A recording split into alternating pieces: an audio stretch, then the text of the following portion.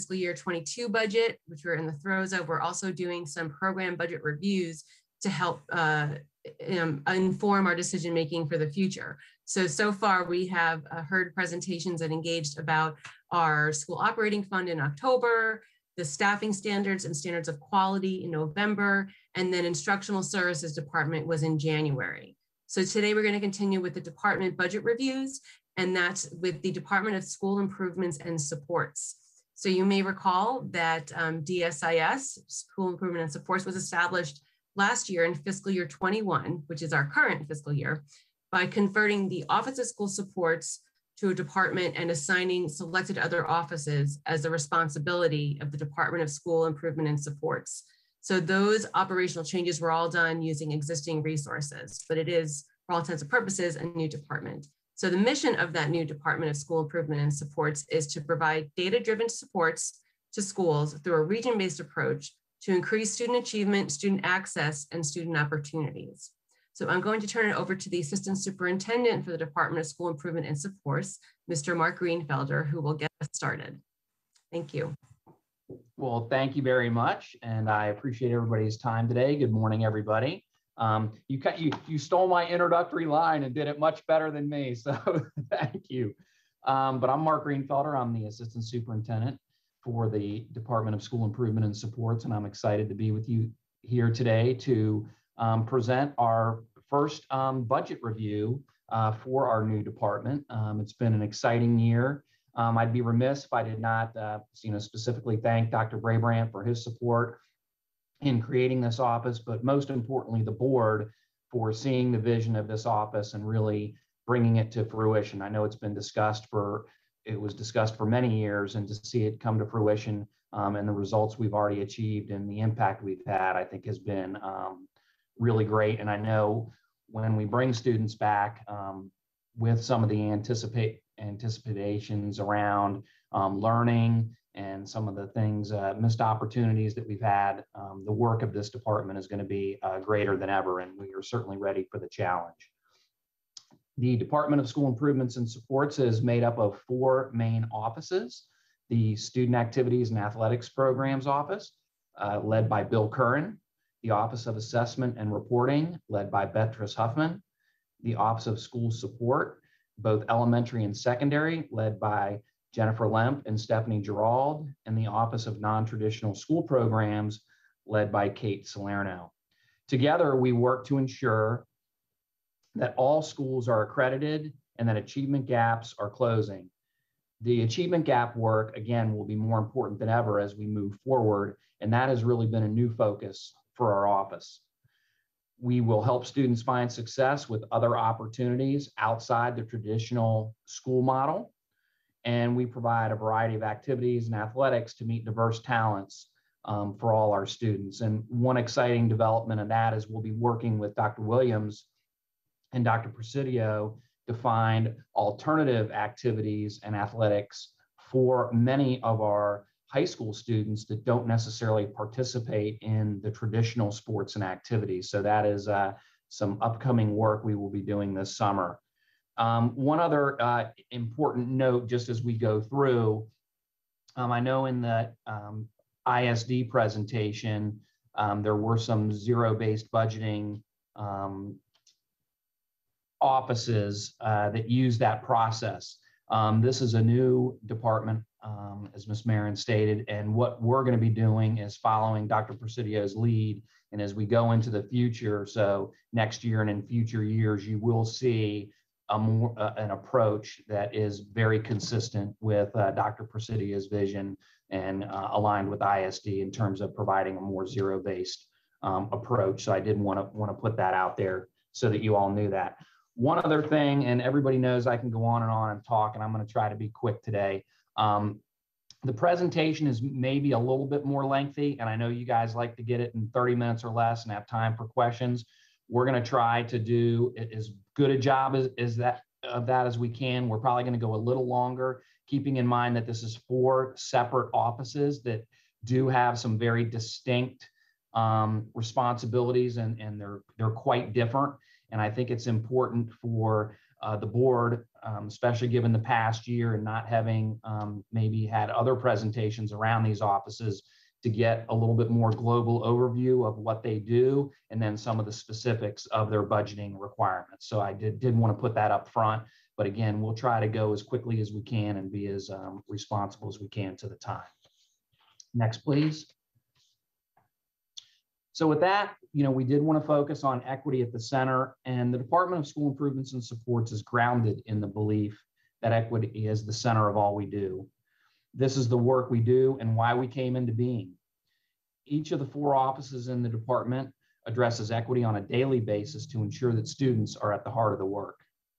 We're already, as I mentioned, leaning on Dr. Williams and her expertise to help work with some of our offices. And we will not only have some additional training for our staff and coaches, but we are working with Bill Curran and Dr. Williams to look at providing uh, this summer and into next fall a robust equity model for our student athletes. Um, and I think that's really critical as we go forward is not only what are we doing for our staff in terms of staff development and work around equity, but how can we help create uh, some training modules for our students and certainly our student athletes um, on the fields of play. And that's one, one of the exciting developments we'll be working on over the summer.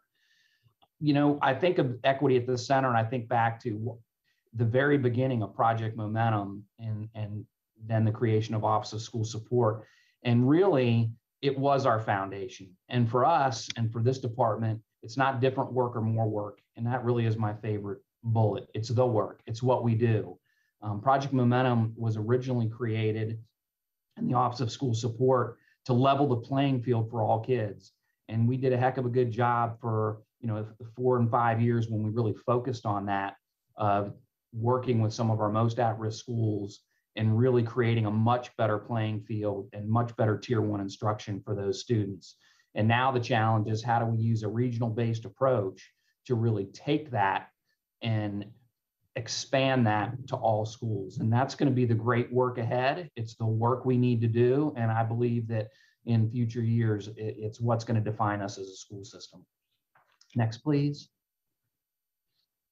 So when we get to the budget, um, and when I looked at this at, at, the beginning, it was kind of a little funny because um, we're that tiny little olive green slice that's the 0.2% of the budget with $4.8 million of our operating budget. And um, I think some people might be, why are we spending time on 0.2% of the budget?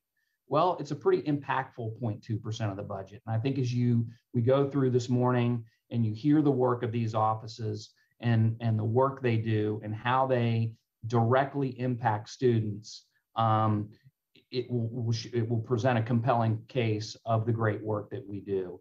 As you can see, we uh, represent again, 0.2% of the budget. We have no managed funds, um, and our department staff supports approximately 40 point, $45.3 million of other school funding. Next, please. So you can see the various offices and what their designations are. Again, the Office of Assessment and Reporting, it represents approximately 1.9 million of the funding. The offices of elementary and secondary school support represent approximately 1.4 million. The Office of Non-Traditional Schools is 0.8 million, and the Office of Student Activities and Programs is 0.6, and then the Assistant Superintendent's Office for School Improvement and Supports is 0.3. Um, please note for rounding, it doesn't exactly um, add up, but it's really close. So that's the that's where the 4.8 million dollars um, goes. Our budget supports approximately supports 43 positions and then an additional 354.5 positions out in schools. Next slide, please.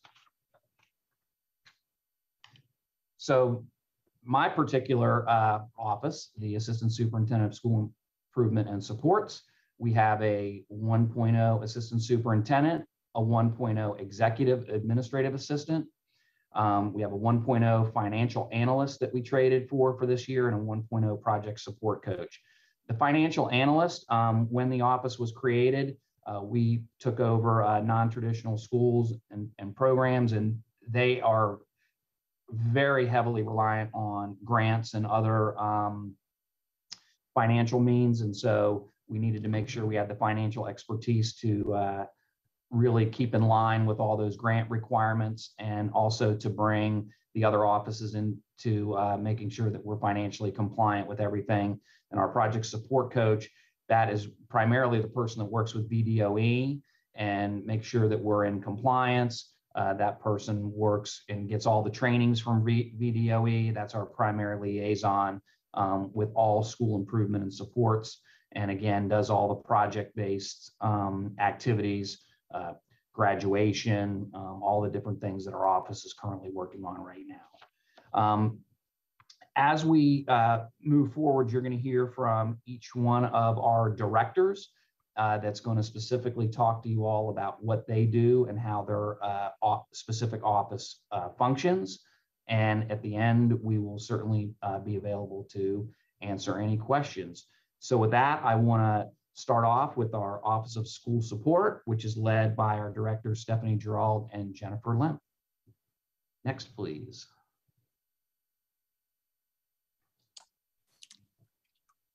Good morning. I'm Jennifer Lemp. I'm one of the directors in the Office of School Support. And good morning. My name is Stephanie Gerald, and I'm the other director in the Office of School Support.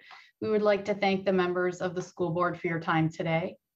The Office of School Support was created as a solution to support schools that were struggling to meet full accreditation with the Virginia Department of Education.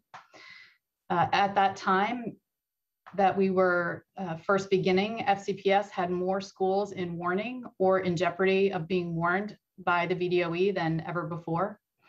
OSS is likely best known for our work with Project Momentum schools and our success partnering with schools in Project Momentum has allowed us to grow over time and expand our support division-wide K through 12 in both academic and non-academic areas. The budget we will discuss today supports the hardworking staff in the Office of School Support. These staff make up region teams who work side by side in schools with leaders and teachers as they implement best practices for high quality instruction, develop innovative systems, and collaborate in professional learning communities that optimize collective efficacy and improvements in student achievement. Next slide, please. As Stephanie mentioned, the positions listed here and discussed today in our budget really help to make up these region teams that support schools kindergarten through 12th grade across the division with a specific focus on best practices in instruction, closing achievement gaps, and on-time graduation.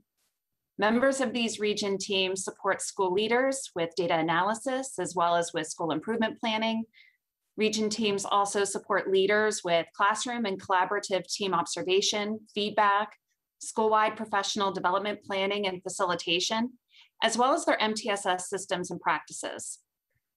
Our office works to support teachers and teacher teams by building their capacity through job embedded coaching and professional development. We work with teachers and teams to plan instruction, analyze assessments, and refine those practices. Members of our office support by modeling lessons and co-teaching side by side with teachers. We observe instruction, provide feedback, help improve the instructional experiences for students in Fairfax County Public Schools. Our work has always really focused on providing direct supports with schools. And during the 1920 school year, at least 175 schools received support or attended professional development led by our Office of School Support staff. This year, even though our work has looked quite different, 198 schools have already received support from and or attended professional development from members of our team. Our work has changed significantly as a result of the pandemic, and OSS has responded flexibly and shifted our resources to best meet the, meet the needs of the division, schools, and most importantly, students. In addition to continuing to support schools, we collaborate daily with our central office colleagues to create instructional resources for teachers to use in virtual and concurrent learning environments. Next slide, please. The elementary and secondary office budgets are primarily utilized to staff the positions you see listed here. In addition to the budgeted positions you see listed in black ink, Positions in blue indicate staff that are funded through sources outside of the operating budget, including IDEA grants, Title IIA, or Project Momentum. Next slide, please. The work of OSS is deeply embedded in the strategic plan. Our MTSS team provides research-based training on classroom management techniques, and they work collaboratively with our partners in DSS to, in order to really minimize the number of student disruptive behavior referrals. Our data managers and specialists support schools in gathering and analyzing data, monitoring interventions and tracking student progress. Our elementary and secondary content resource teachers with their exceptional pedagogical content knowledge. They work together to really ensure students are successful in reading and mathematics.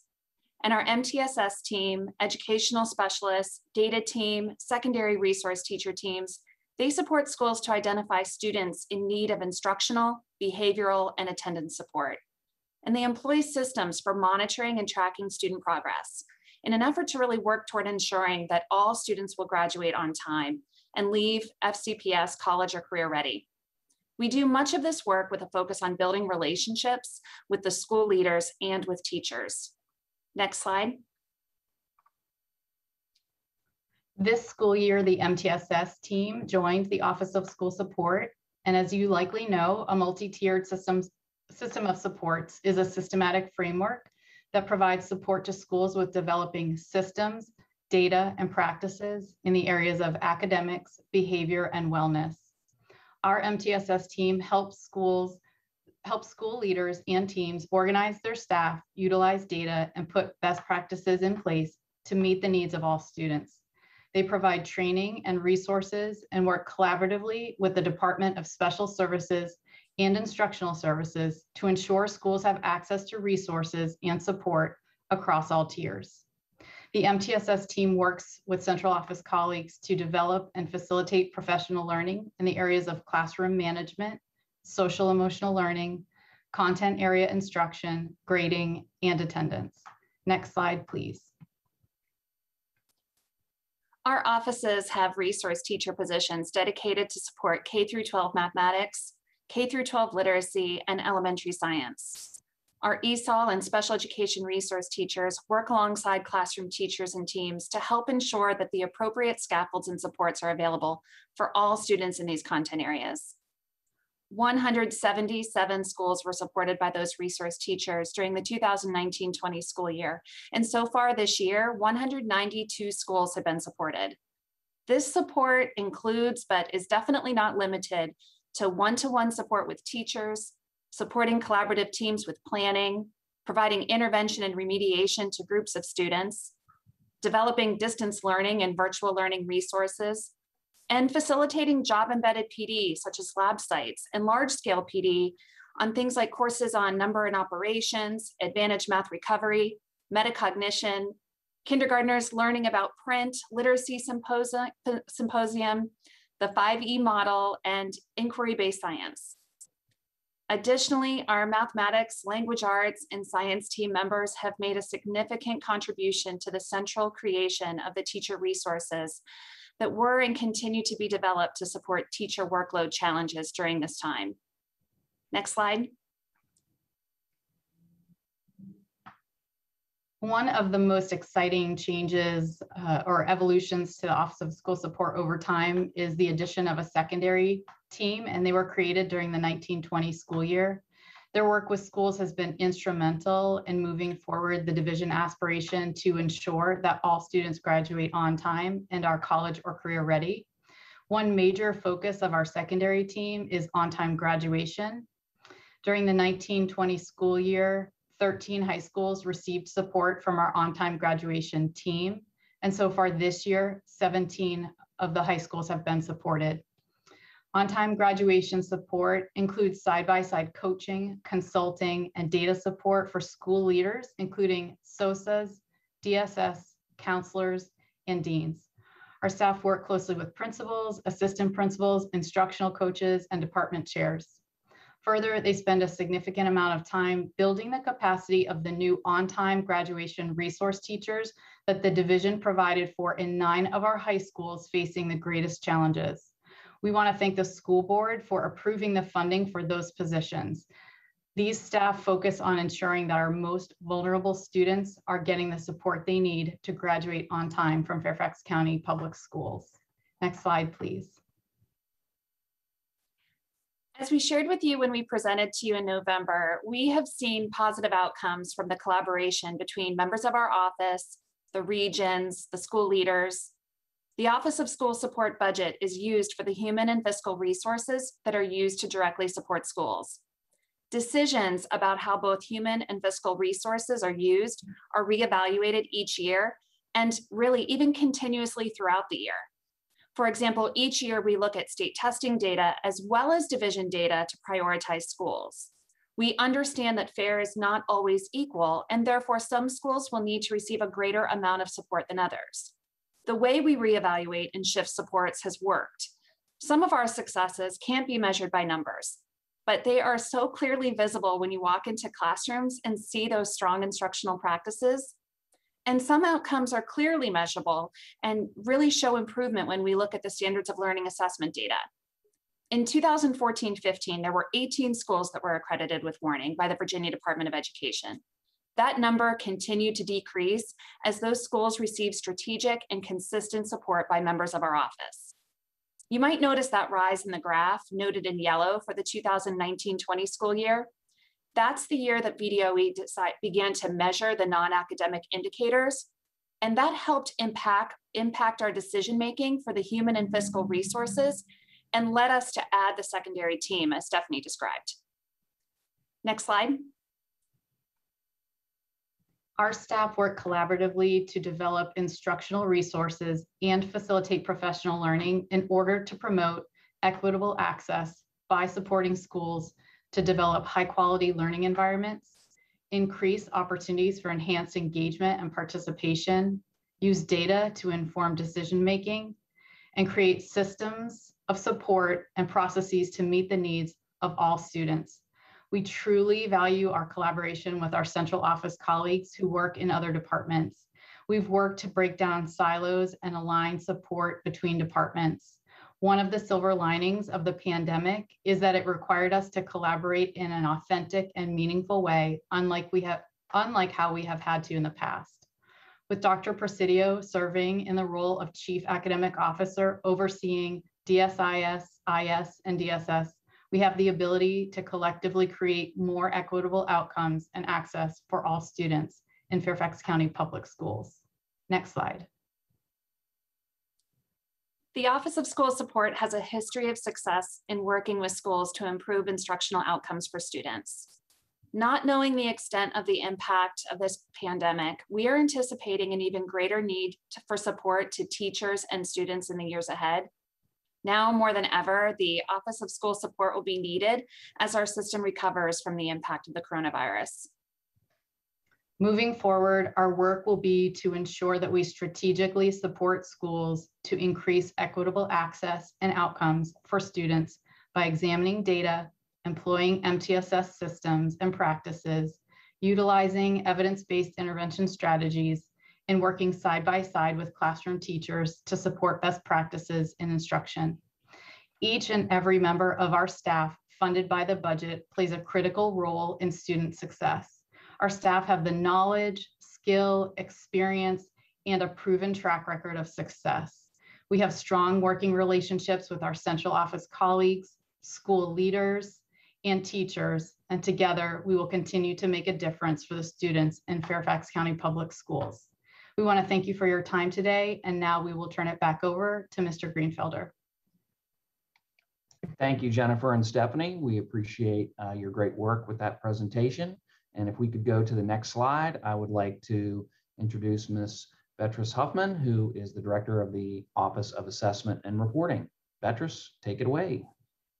Thank you, Mr. Greenfelder, and my appreciation appreciation also to the board this morning for this opportunity to share about the work of our Office of Assessment and Reporting.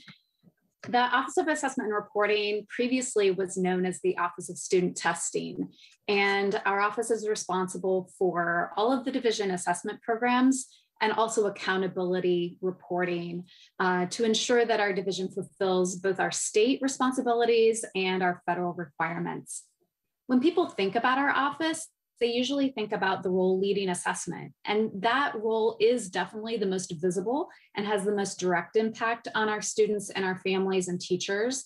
But it's no less critical than our role in preparing and managing data and reporting for strategic plan and accreditation outcomes, as well as state reporting. To better reflect that scope and the two sides of our responsibility, our office was renamed in July 2020 from the Office of Student Testing to the Office of Assessment and Reporting. And we joined at that time the Department of School Improvement and Supports.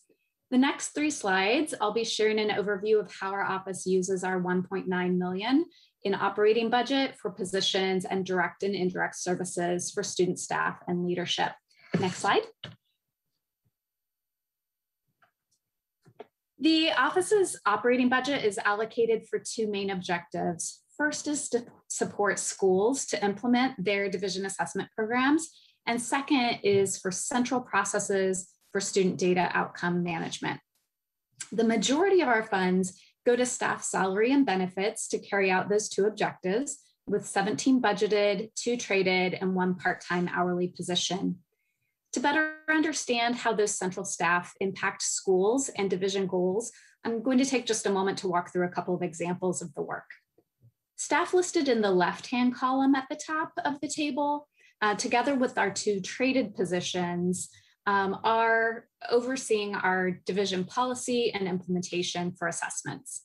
For example, the test administration specialist and the traded school support resource teacher develop resources and provide professional learning and technical support for school-based staff to understand the purpose of assessments and approaches to carry out assessments in their buildings.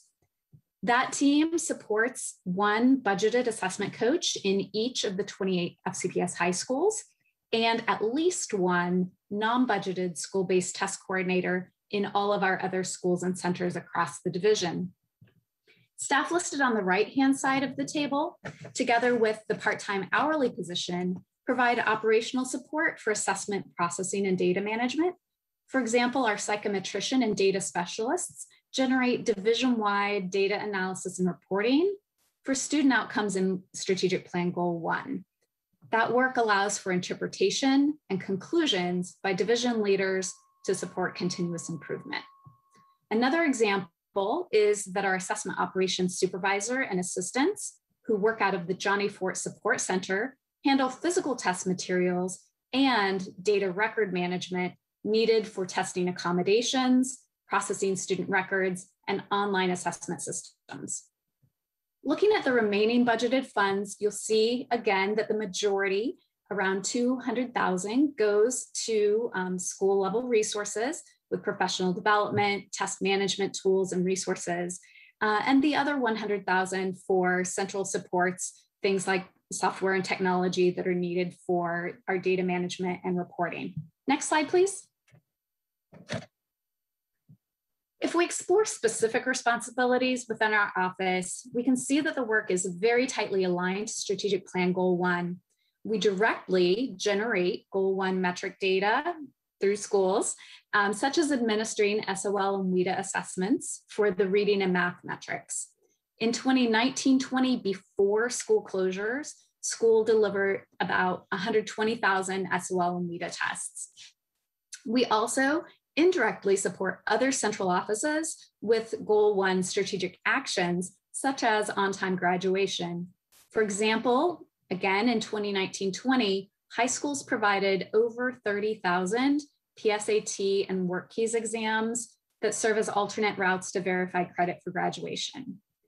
Beyond administering assessments, the office uh, develops data analysis and reporting tools and helps staff to understand student outcomes and support decisions about next steps needed for continuous improvement towards strategic plan targets. Next slide, please. To close, um, the Office of Assessment and Reporting approaches our decisions, our guidance, data, and our school support through an equity perspective with a focus on doing what is best for students. This focus was heightened to a new level this year with the challenges in ensuring equitable opportunities and experiences across virtual and in-person learning environments. We worked with schools and program leads to reduce testing requirements where we could and to require, ensure that um, the time that is spent testing provides instructional value. We also explored where virtual testing would be an option and have offered schools guidance in delivering uh, virtual assessments. So far this year, uh, over 30, excuse me, over 300,000 virtual assessments have been delivered in schools. Additionally, we've collaborated with school leaders to develop logistics guidance and tools to carry out in-person testing in our virtual, um, excuse me, in our uh, social distance environment. And um, during the first three quarters of this year, schools gave over 57,000 in-person assessments using scheduled appointments. Of course, as we go through the rest of the school year, with more of our students attending in person, those in-person assessment experiences will not rely on appointments to the same degree. And additionally, our teams are collaborating across departments to highlight curriculum embedded classroom assessments, reinforcing the importance of ongoing meaningful feedback for students. Lastly, um, an important component of our focus has been leveraging Virginia Department of Education flexibility that's designed to mitigate barriers that come from the ongoing pandemic. Uh, to continue, uh, we're engaging stakeholders across schools and departments to identify how we can best take advantage of SOL waivers, scheduling options, and communicating families their increased choices for testing. We're also aggressively working with schools and other departments to make sure all eligible students are benefiting from graduation flexibility options, including emergency guidelines for locally awarded verified credits and some waiver opportunities. In closing, I want to note that all of the efforts that um, within our office have been enhanced by our move into the Department of School Improvement Supports this year, where we've been able to maintain a dedicated priority for school and student equity and stakeholder voice. And at this time, it's my pleasure to turn things back over to Mr. Greenfelder.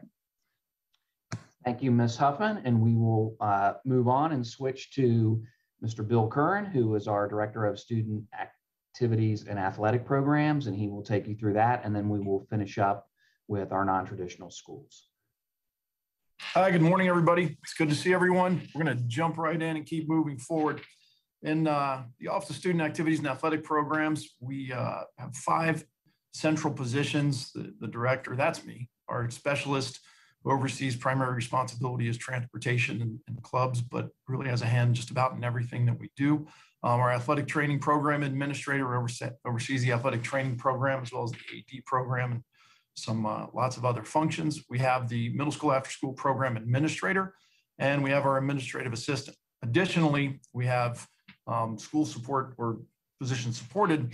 And we have an operations technician, really uh, huge part of that job is overseeing the AED program that is in every one of our buildings, as well as the, uh, the helping support the HR program with regards to licensure and the CPR requirements that were recently placed in the last few years.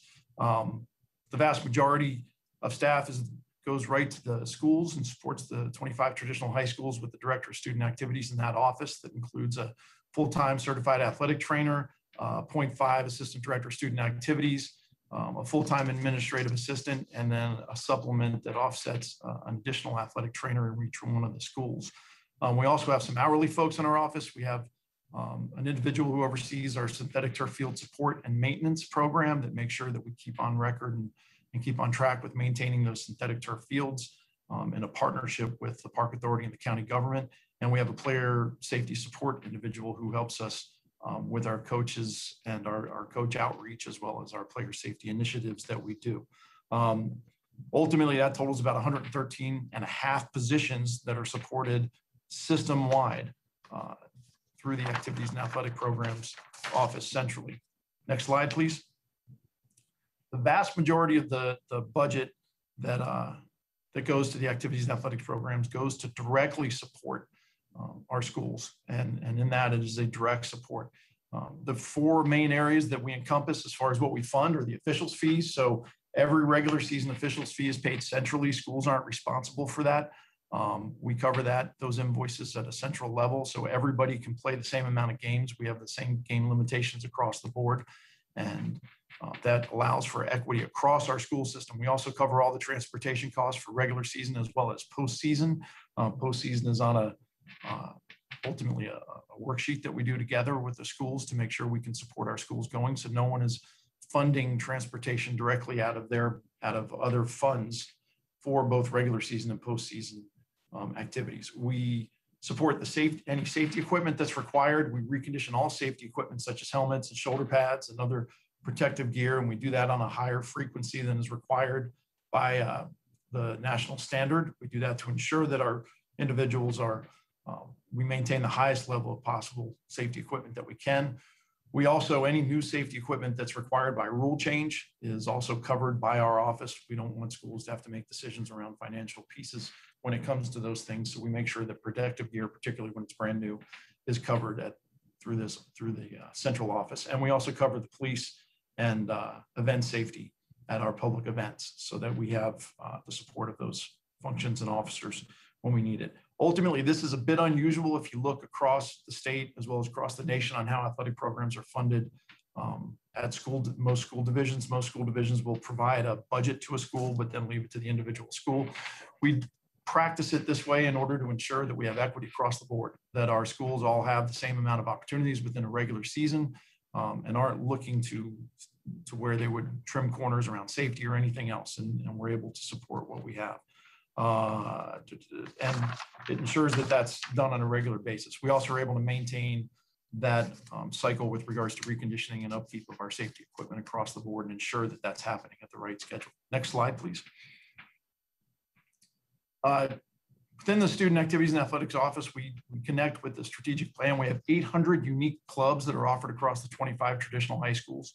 Um, that averages about 300 clubs a school. Um, some are very similar, some are very different. When you get down to it, they, they cross all sorts of boundaries um, with regards to what they are from academic activities, career activities, cultural activities, faith and fine and performing arts activities, food activities, forensic activities, games and hobbies, um, honor societies, interest-only activities, language, literary, you name it. Um, if a student can think of it and find a sponsor, pretty much we'll move it through. Um, it's really student-led and we we uh, look to that and our students to, to see what, what it is they're interested in and bring it forward. We have visual arts activities, you name it. We intentionally um, don't track attendance in that, so it's really hard to say how many students, although we know there's a very large number of students that are involved in activities um, in our schools, but we don't track attendance because some of these are very sensitive in nature. And we've heard it's much better, and, and we've seen it in practice, that our doors are open and that our students come in as appropriate and that they feel comfortable with doing that. And so we make sure that we keep that as open door policy as we can and allow all our students to come and go. Um, over the past 11 years, we've averaged about 27,000 athletes participates in sports per year. Um, some of these student athletes are counted multiple times. So if they're a two or three sport athlete, they'd be counted two and three times. Now, what you do see is what's really interesting is when we boil down those numbers to see what that comes down to a little bit more, you see our highest multiple sport athlete percentage is in our schools that are most diverse, which is, a, is an interesting statistic and a really neat thing to track. As you see, our more diverse schools have students involved in multiple sports and really engaging within the school, which is, a, I think, a pretty neat thing. And, and we continue to take a look at that and how we can support that more. Um, and it works out real well. We offer 25 sports across all the, the schools, all the same sports across schools um, are offered and funded. Uh, there's sub varsity at pretty much every one of those programs. Some is defined, some of that's defined as junior varsity and freshman. Some of it's defined as sub varsity, such a track. You have a varsity track program which scores, but then you run ultimate heats with anyone who, who's there, and it's very, very open. We also offer three club sports within Fairfax County Public Schools that are not funded. What a club sport is is essentially not funded. Sometimes there's confusion around that. Um, specifically, that's crew, rifle, and freshman field hockey. Um, freshman field hockey continues to be recognized by the Virginia High School League, so it's a place to really grow an opportunity for our young women who are coming in in September at the beginning of the school year to participate in a sport that oftentimes is very, very new to them. So we, we look forward to that piece as, as we go and really have seen growth in that area. Um, there's also acad academic activities which are recognized by the Virginia High School League. These include theater, scholastic bowl, forensics, debate, robotics, film festival, creative writing, publications evaluation, and multimedia contests that go across all the boards that are judged um, contests through the Virginia High School League. Our work directly supports the FCPS strategic plan um, through lots of different ways that we do it. There's community service components within most of our programs that are led by the coaches and our students in areas that are specific of interest to them. And um, one of the things, and we can go to the next slide, please, uh, that we're really, really proud of is, is we link um, the portrait of a student athlete to the portrait of a graduate. We worked through our uh, coaches advisory committee to really develop what is it we want to see? What is it? What's the purpose with regards to a student athlete and a student that's involved in our school? And how does that link back to um, our strategic goals and what we do. And we see that in this work that was fully created through our coach advisory groups that we've engaged with over the last few years to, to provide a direct linkage to those students who are involved and active, which is, is really a great linkage. And we want to see every one of our students involved. Um, what you see here, and I'm not going to read through the whole thing for you, um, but this has been regarded both on a state level and a national level as a standard that, that everybody wants to meet.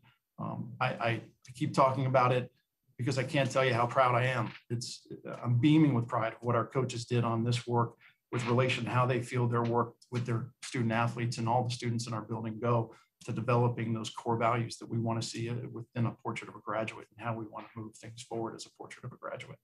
Um, all right, next slide, please. Ultimately, everything we do is we have the equity focus and equity lens on it. Um, from a, a, a, funding standpoint, we look at that with what we cover, which is that officiating and reconditioning of safety equipment athletic programs, because we want to provide as much of an equitable opportunity across all 25 schools as possible. And we believe we do that by covering, covering those costs. So schools aren't having to play less or more because of where they are. Um, and we provide support to all the traditional high schools to ensure that basic level of operation is, is conducted across um, through the traditional high schools and the ongoing focus on gender equity through Title IX is always there. I can tell you, and, and Mr. Greenfelder mentioned at the beginning, a, a, thank you to Dr. Williams, really for the, the work we've been able to do and, and started doing with regards to um, equity and cultural responsive initiatives that we can do with our student athletes, our staff, and our coaches. Um, I really believe that's that's a great next step that we're moving towards. You saw a lot of our colleges and universities starting that work we're able to start some of this work last summer and have, have really put a focus and a lens on that moving forward. Um, next slide. I think that's it for me. Yep. And with that, I will wrap it up. Thank you for your time. And Mr. Greenfelder, back to you. Thank you, Mr. Curran. Appreciate uh, all your efforts and work. And at this time, we will bring it home with non-traditional school programs with our director, Kate Salerno, and we'll try to get through this last part uh, quickly and then uh, open it up for the last uh, 45 minutes to an hour for any questions or comments that you may have. Thank you, Mr. Greenfelder, and good morning, everybody. My name is Kate Salerno, and I'm the Senior Administrator for the Office of Non-Traditional School Programs. My position is one of eight office positions, and my role is to direct, plan, manage, and coordinate homebound and home-based instruction as well as the school-based non-traditional school programs. I'll share more information about both of these in the next few slides. This office supports 190.5 school-based full-time positions such as school administrators, teachers, instructional assistants, and support staff. I'm supported by an administrative assistant and an educational specialist who provides direct instructional support to all of our full-time and hourly instructional staff members. For our homebound program, there is one manager and one educational specialist supported by three business operation assistants. Next slide, please.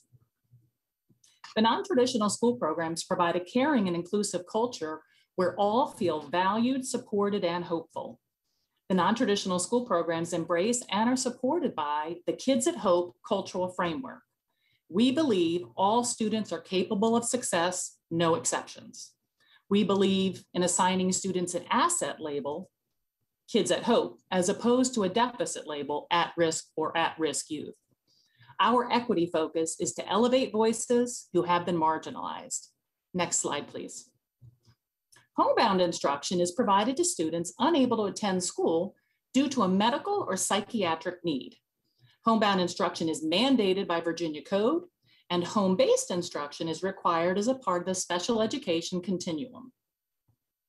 This includes the hiring and the deployment of teachers, ensuring students have equitable access to instruction, and collaboration with schools in preparation for their return. Last year, 220 hourly teachers and six full-time school-based special education homebound teachers provided almost 17,000 hours of homebound instruction and just over 5,000 hours of home-based instruction in the home or healthcare facility. Last year, even with the closure occurring in March 2020, 758 students were supported and served. Um, if you have time, you are welcome to view our short video in your board docs to see how we utilize technology to support student learning and well-being when they're on homebound. Next slide, please. There are 13 types of school-based programs at 32 geographical locations in Fairfax County. Programming can be found in every region. We have non-traditional school programs on the campus of some of the regular high schools, so students can access our programs in a smaller, more individualized environment as needed, and the student can remain enrolled in their school and close to their school community. We also have non-traditional school programs in community locations for those students needing a school program away from some of the large schools and other programs that are located in county agency spaces through cooperative agreements with those agencies. Our office provides guidance and support to the two alternative high schools, Bryant High School and Mountain View High School, even though they report to the assistant superintendents of regions three and four respectively. Some of our schools are on programs are full day programs, while others are shorter and more flexible to accommodate work and or parenting schedules. The pathway to high school completion for some students isn't always an easy one or a straight line. Sometimes the choices and decisions students make interfere with high school completion and can become overwhelming and sometimes seem hopeless. We seek to engage and inspire and educate all students. We provide oversight to the school in the Juvenile Detention Center, which is funded through a Virginia Department of Education grant, as well as the Fairfax County Adult Detention Center, Educational services for special education eligible students in the Fairfax Adult Detention Center are mandated. We provide educational services to students assigned by a judge or a probation officer to court-sponsored residential settings. While these enrollments may be low, eight, 10, or 12 students, each of those students are a kid at hope and they are valued. We meet students where they are and where they need us most. Last year, just over 2,100 students were served at these schools and programs. Over 700 students were served at the two alternative high schools, and 321 youth were served at the JDC school that has an average daily population of 35. Next slide, please. We embrace diversity and we are diverse. Our demographics for our school-based programs are on the slide. While you're looking over the demographics of our school-based programs, you might be asking yourself, why does FCPS have so many different types of non-traditional school programs? Well, that's an easy answer. A one-size-fits-all approach to education does not meet all students' needs, and the same is true in alternative and non-traditional programming. Some of our students have enrolled and transferred within the non-traditional school programs multiple times until they were able to find the right academic and social emotional fit. We employ an open enrollment environment to support students when needs arise. Our programs have reached out to our base school colleagues to identify any students who currently need a smaller, more personalized learning environment as they're returning. Next slide, please. On this slide, I'm sharing some data from last year. 39% of the requests we received for students were for students to re, uh, for grade 12. 76% of the students that attended a non-traditional school program last year attended at the request of a parent or a student themselves, not as a result of the hearings office or a court assignment, but rather as a result of life circumstances. Perhaps they are their own breadwinner, or they're an older English learner or a newly arrived English learner, or a student who may be experiencing severe anxiety or having academic or behavioral difficulties, or a pregnant or parenting teen. 87% of the 12th grade students graduated with a diploma and 50 students earned their GED.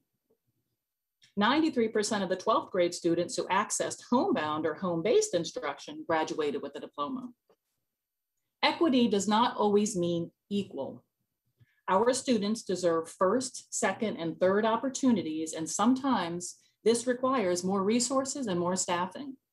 Smaller classroom environments, lower student teacher ratios, and more individualized or personalized learning. Our service level is by name and by need. And again, I encourage you to take a look at the video link that I provided. Next slide, please. Our aspirations are that all non-traditional school programs provide a caring and inclusive culture where all students feel valued, supported, and hopeful. All students are capable of success, no exceptions. And all students will graduate on time, college, or career ready. Again, another link there to take a look at our collaboration with George Mason Universities for our Dreamcatchers opportunity for our graduating seniors. Next slide. While we all know that educators are special people, our non-traditional alternative school programs would not and could never be what they are without our amazing school leaders and our super special instructional and support staff. I'm really proud of them. I'm more, I am more than proud to share with you that the Fairfax County Public Schools 2020 Outstanding Secondary Teacher of the Year is a teacher in one of the non-traditional school programs at the Transition Support Resource Center on the campus of Bryant High School. He's a US Navy veteran, and in his own words about his mentor who encouraged him to become an educator, Mr. Brewer says, she showed me how I could give back to my community and make a lasting impact on young people. The first time a student told me, You've saved my life, I knew I couldn't be anywhere else. I believe God puts people in your life for a reason and puts you in the right place for the season. Mr. Brewer's message to all educators is embrace the moment, accept the challenge, uplift the situation, and dust off the most tarnished student you see every day. And that's what we do. And thank you so much for your time. I'll bring you back to Mr. Greenfelder. Thank you, Ms. Salerno. Appreciate that. Um, I'm going to just in closing, uh, because I know we've gone over a little bit. As you can see, this is four very distinct offices. And to, to rush through it, I don't think would quite do justice to the work that they do, and also to give you all an overview of the complexities of each one of the offices.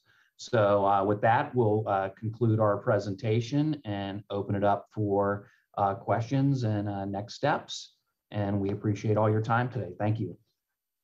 Wow, thank you very much. That was a lot of information. And, you know, you are a new office, so it's understandable that you want to try and tell us as much um, as you can about what you've been doing. So, so thank you. And, um, you know, we're using Zoom for the new time, for the first time, and usually on Blackboard, it's a little easier to discern the order of which, but at five members raised their hands during the presentation and I was watching the presentation, not realizing the orders. So what I'm gonna do is just go in alphabetical order by first name. And so um, I'll just read that order just so everyone's aware. So it would be um, Elaine Tholen, then Ms. Corbett Sanders, um, Mr. Karl Frisch, Ms. Megan McLaughlin, and then Ms. Sizemore Heizer. And now I will see who pops up after that, and we'll continue on from there. So um, if each person can have up to three minutes, let's keep it tight. We have till 1245. So first, Ms. Tholen, followed by Ms. Corbett Sanders. Thank you.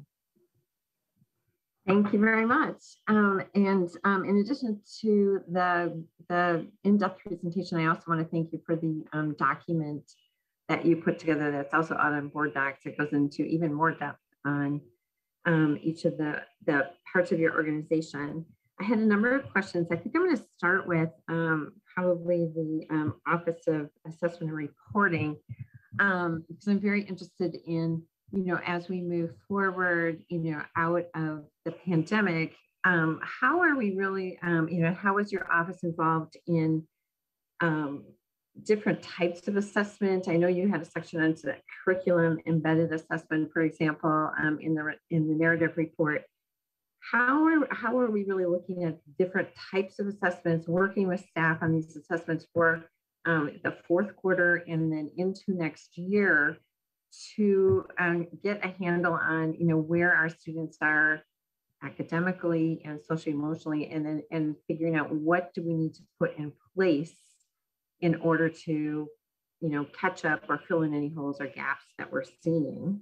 That's the big question. And then as part of that um, is there an opportunity um, to utilize some of the one-time um, covid-19 funding that we may have over the next couple of years to, to bolster that um, assessment activity and the reporting that would go along with it. I'll start with that. So thank you, Ms. Boland, for those questions. Um, to start with the curriculum embedded assessment and the different types of assessment that our office has been working with um, back from really last spring and then into the summer, um, our office helped to set up and lead under the direction of our new chief academic officer, Dr. Presidio, um, an assessment working group, assessment program change working group under that um, return to school task force structure that was um, implemented long ago. And that we engaged across the departments and across schools principals, teachers, and other um, leaders within buildings to help inform us what was needed. Um, and the curriculum departments, um, together with their resource teachers in the Office of School Support who are actively engaged in that work, um, developed a number of short, quick assessments that tied specifically to the um, revised curriculum that was rolled out this year, the, um, the streamlined curriculum for return to school, so that we could ensure that we did have assessments that would specifically address what was being taught, what was identified as essential standards, and most important for helping students both be ready for ongoing success, but also to be able to measure that progress as they go through. So those assessments have been in place throughout the year. They look a variety of ways. Some of them are more of that traditional format, multiple choice, and so on. Others are more performance based assessments. Part of our work, particularly as we moved into the fall, was to look at portfolio assessments and other performance tasks and how that those opportunities for students to demonstrate beyond the more standardized format were was really important particularly in our virtual environment to allow students to demonstrate their learning. So we are really focusing on a balance of assessment types and embedding those assessment types within their students' coursework testing is not a discrete event, is not a separate activity, it's part of learning um, and the feedback that students can get from those experiences support their learning.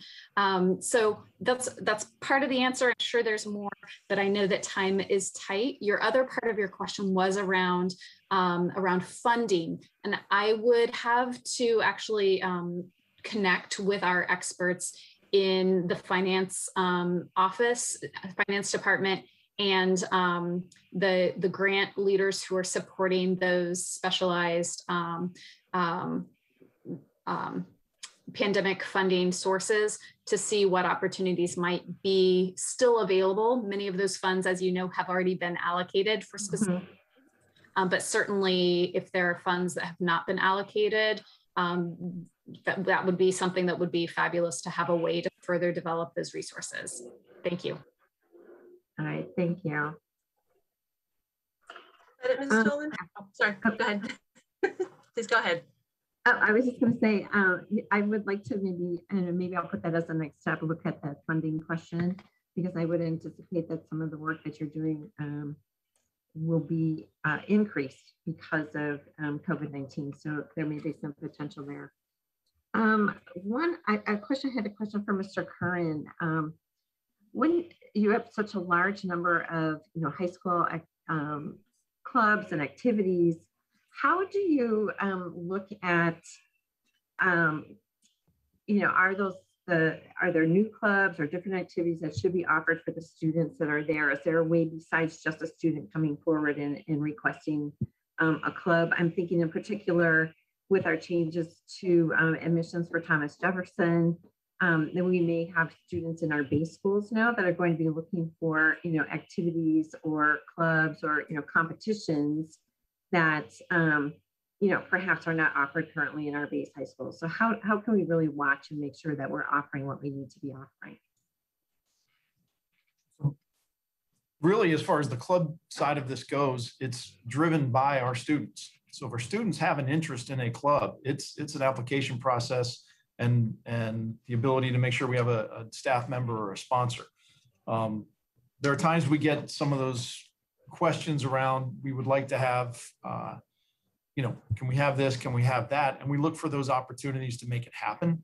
Um, you know, athletics is a little bit more tricky with regards to that piece of it because there's some some liability and, and space and time and things like that with regards to the clubs, the reason we have 800 and growing, that's not a stagnant number as it grows, Mhm. is as, as things change, as an individual school or an individual student has an interest, they can bring that forward. They can bring it forward through the school. Um, they follow that process. Here's what we want. Here's where our interest is. We'd like to take that piece on our next step. And it's student driven.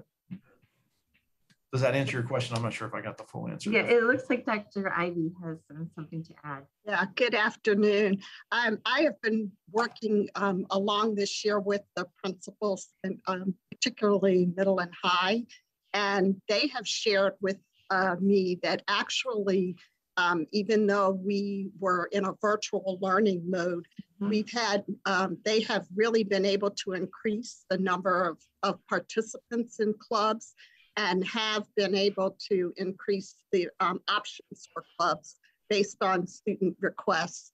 And, um, uh, you know, while we're, you know, moving back to in-person, um, that has been one of the pluses of, of when we were out in, in um, distance learning and having um, many, many more students participate virtually. Now, we could get you some further info on that if you would like. Yeah, um, I- was well aware of that in talking to um, my middle schools in particular. Mhm. And so I'm really hoping that as we move forward, even as we go into in-person learning, that, you know, perhaps we'd be creative about still offering some clubs and activities in a, in a virtual setting. Um, because particularly I think students that, you know, have transportation issues or, you know, things are, Right. you know, it's harder for them. They can participate virtually in these clubs and activities and, and they've been great. um, Yeah. for that. So I think that is on the radar and that's something we can continue to, to talk with them about. But I know they're very interested in doing exactly what you said, because the more that can participate, the better.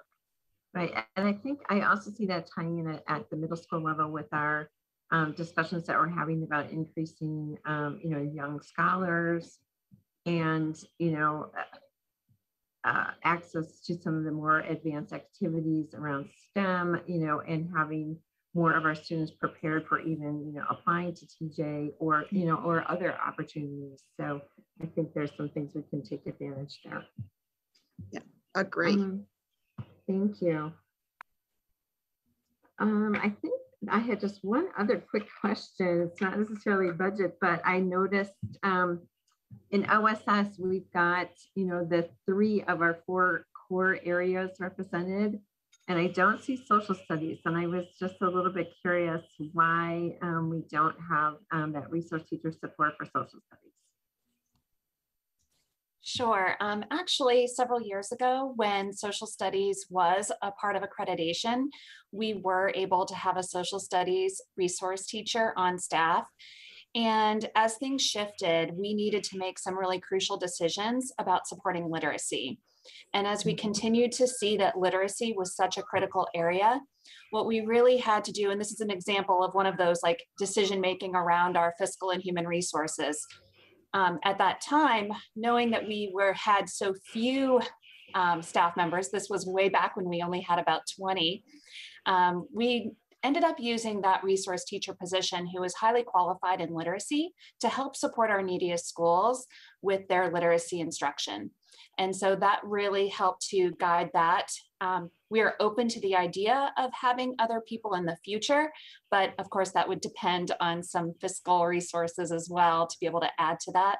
And right now we know that a lot of the teachers who are looking for some support in social studies really are looking for how do we um, help kids to read the text, access the text of social studies. And so we're able to support them in that way. Thank you. That, Sure. That's it for my questions. I'll, I'll turn it over to the next um, board member. Thank you. Thank you, Ms. Tholen. Next, we have Ms. Corbett Sanders, followed by Mr. Frisch. And um, um, for the clerks keeping track, thank you for tracking both the board's time and the staff members' time. So Ms. Corbett Sanders and then Mr. Frisch. Great, thank you. I'm sorry that we each are only getting three minutes, but I understand our time constraints. Uh, I've got a couple of different questions that I'm going to put out there and then maybe we can have a, a dialogue. One, 50% um, of our students that uh, take advantage of the OSS services and in particular the alternative schools are ESOL students.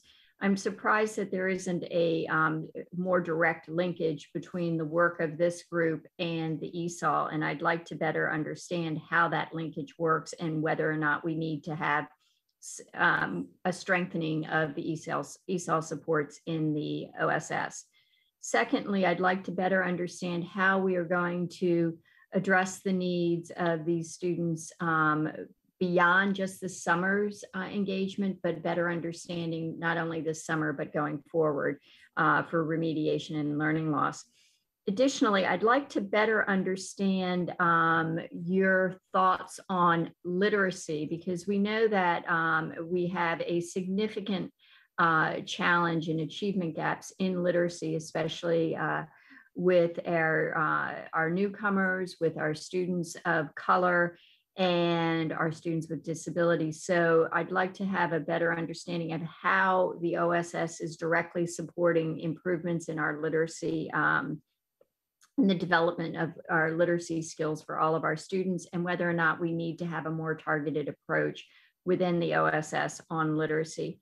And then finally, on the student um, driven clubs, I appreciate Ms. Tholen's comments. I am a little concerned that when we have a pure an approach which is purely based on student driven, then that depends on a student knowing about um, different clubs and what could be made available. And so um, we really should make sure that there is a better way of ensuring um, consistency of club programming, especially at the middle school, and would like to understand how you would do that.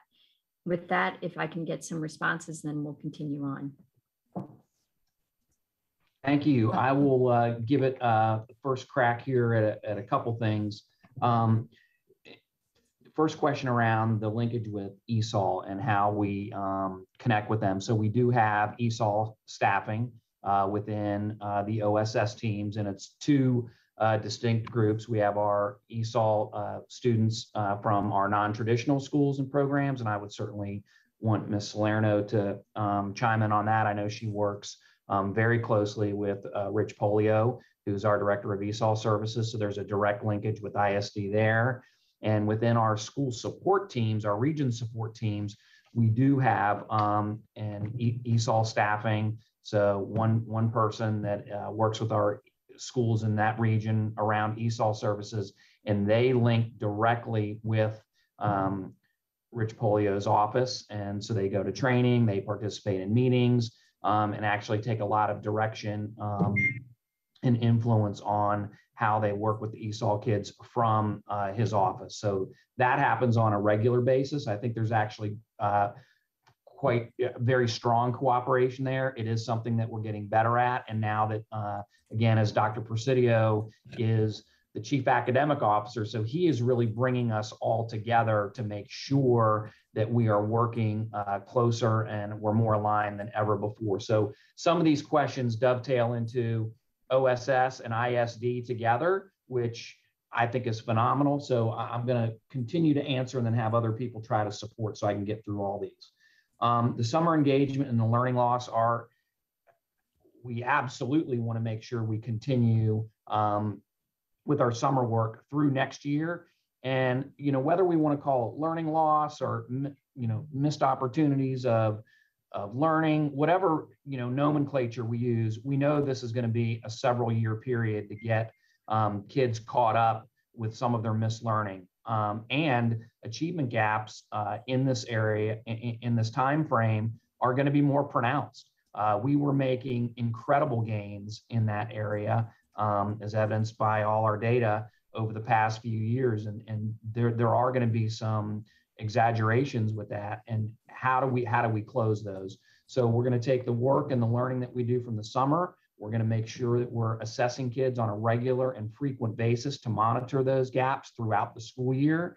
And then we're going to make sure that we're very, very um, strategic using our MTSS processes to make sure that we're giving kids the extra time and support they need. I think some of this, to be very transparent, is not going to be a cookie cutter or a menu approach that we have right now. I think many of us are living through this.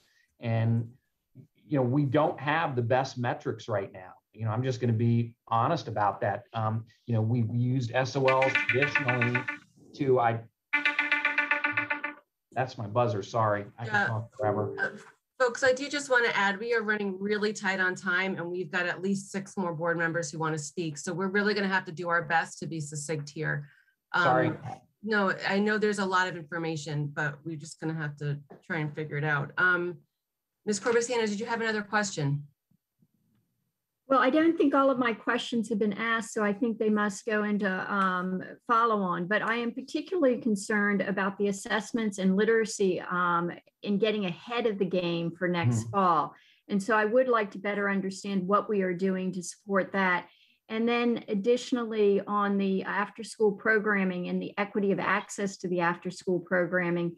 And uh, I just want to tie in there the importance of not only ensuring school by school equity of access, but also equity of access for our special, uh, you know, our students who may attend public day schools or may um, attend an alternative school, but their base school may provide that. And so I would like to better understand how we can best support those students as well. So for the, the clubs, I can tell you we can certainly publish a list to make sure there's more consistency and make sure students uh, know what those are. And we can work with principals and with uh, Mark Emery to make sure that from a middle school perspective, we are being more consistent. We'll definitely work on that. And I'll work with ISD on the literacy um, component to your question and what our assessment protocols are going to be for identifying those gaps. And we'll get that written up and submitted to you not only identifying, but supporting our yes, students. Absolutely. Excellent. Thank you. Okay, great. Um, Ms. Uh, Mr. Frisch, followed by Ms. McLaughlin. Thank you. Um, just a few questions for Mr. Curran. Um, you mentioned in your comments um, the, that uh, our student athletes will uh, be receiving some form of diversity uh, equity, inclusion, and justice training. Can you talk a bit more about that and how you see that being budgeted? Thank you. It's a, it's a great question. We, um, we've started the conversation. Originally, we started last summer around um, some of the things we were, we were certainly seeing on the outside and, and preparing our coaches and our students for dealing with that. That's internal work. So as far as budgeting goes, we have a both a uh, coaches education system that's internal as well as the resources we need right here to do it. Um, so really, as far as a cost goes, it's I, I, believe from what we're looking at, it's fairly nominal. There's um, some national resources available through the National Federation of High Schools, but frankly, I don't think those go far enough, and they don't address yeah. the things we have right here. So really making it unique, working with Dr. Williams in her office, and making that really specific for us.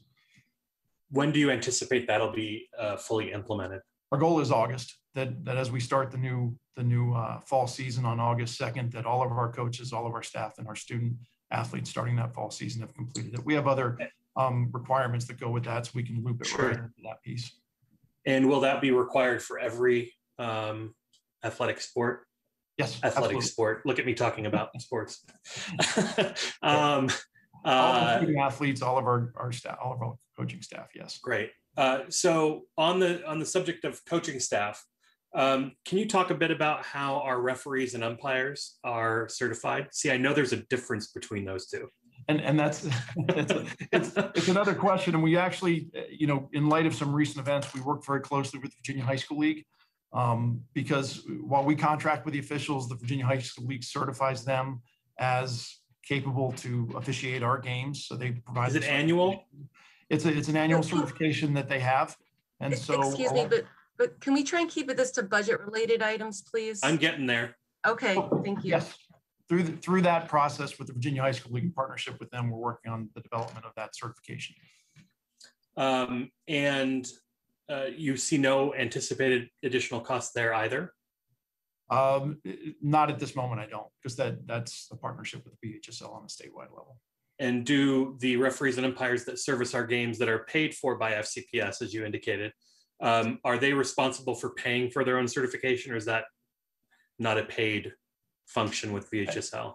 At this time, we're working through that with the Virginia High School League, so it's undetermined on this particular. Certification. I, well, on that specific certification, but on the current certification, Yes, is that paid for by FCPS or by the by the individual? All right. And so the question is whether or not who would pay for this additional certification, whether it be the individual referee or umpire, VHSL or FCPS? It's, as of, the VHSL has a set list of, of requirements under certification, and if they list it there, then that's, that's a requirement that would need to be completed by the association. But we won't, I don't want to use a double negative. We will still require such a training, even if VHSL does not include it in their requirements. Yes, yes, yes. And in that case, do you anticipate that we would have the referees and umpires pay for the training? Or would FCPS be required to pick up the bill on that? I could, probably the easiest way to answer is I anticipate the Virginia High School League will look at this as a statewide initiative. And right now, I anticipate that it will be included under the statewide certification requirements by the Virginia High School League. So therefore, it's their requirement and will not be a budget item for us. Well, fingers crossed, but I, I, you know, I, I would love it if we had a backup plan just in case. Um, and I, for one, would certainly support any effort, uh, if it required us to come up with some new money. You know, I think that'd be on the table as far as I'm concerned. But Thank you. Thank you. And that too would be in place by August? That is, yes, that is the intention. Okay. Thank you very much.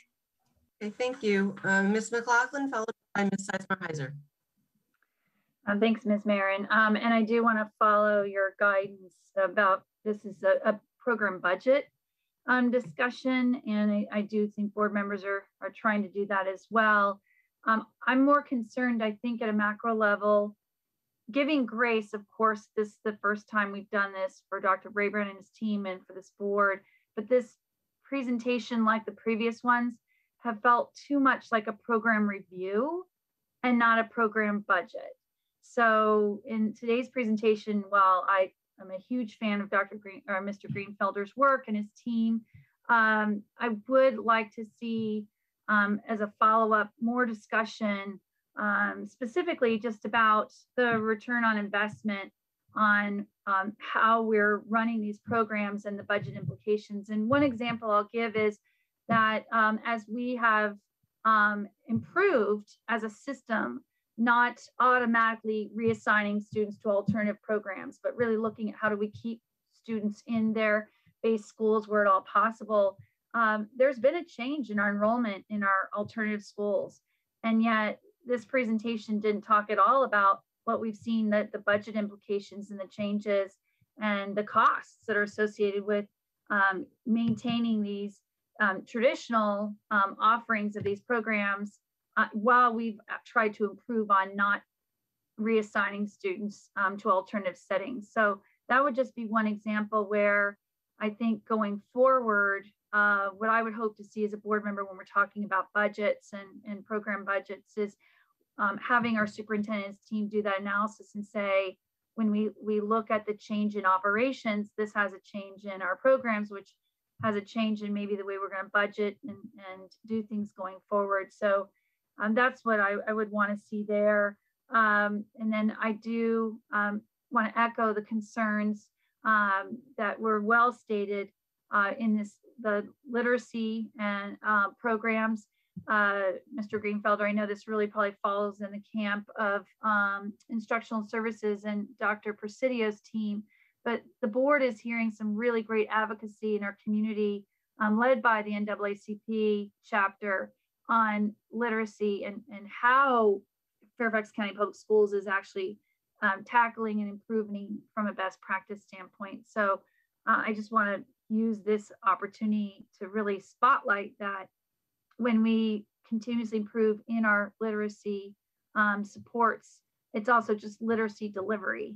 And uh, so I think we're going to need to look at that. And, and Ms. Corbett Sanders, thank you for bringing up about, um, you know, making sure how do we do close those gaps and do those assessments in the absence of SOLs. How are we identifying where students are having literacy challenges? So um, overall, I have so many other questions uh, because it was a, a, great presentation from, a, again, a program review standpoint. Kudos to your entire team. Um, Bill Curran, I have some thoughts about um, multi-sport athletes and why we see differences among the schools. And I think we've got to look at the poverty piece. I know at some of our more affluent schools, uh, students specialize into one sport. They're looking to go play at the collegiate level. And um, I think that that tends to sometimes see why there's a pressure to specialize where students can. They're on club teams, they're training at the at elite levels outside of the schools. And uh, I know from, from personal experience, students are actually discouraged to, put, to play multi-sport athletes if they really want to compete at the next level. So I think there's a lot to unpack with that, um, but I appreciate you bringing that up because it's something we should be looking into. And uh, finally, I know it's on the minds of this entire board um, about how we ensure not just our student athletes, but all of our students um, are going to have that diversity, equity, inclusion, um, education, and, and training.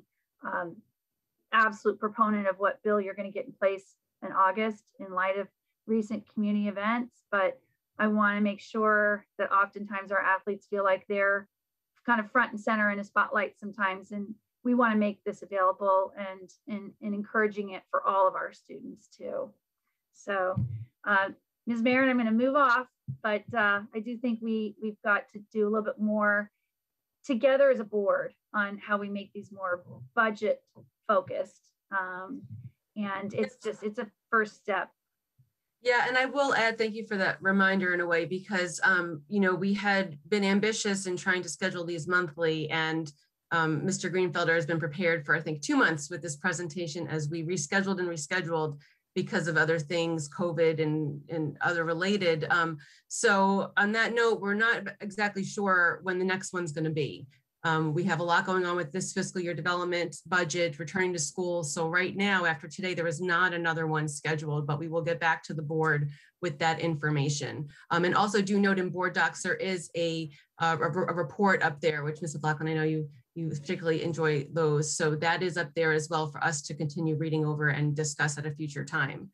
So, True, um, but I, I would just say that we, that the, the PowerPoint presentation and the way that guides board discussion really wasn't. I uh, understand. Yeah, I don't think Yeah. it, it led us to be able to do that kind of analysis and conversation. So, but Okay, again, no criticism, just no, understood.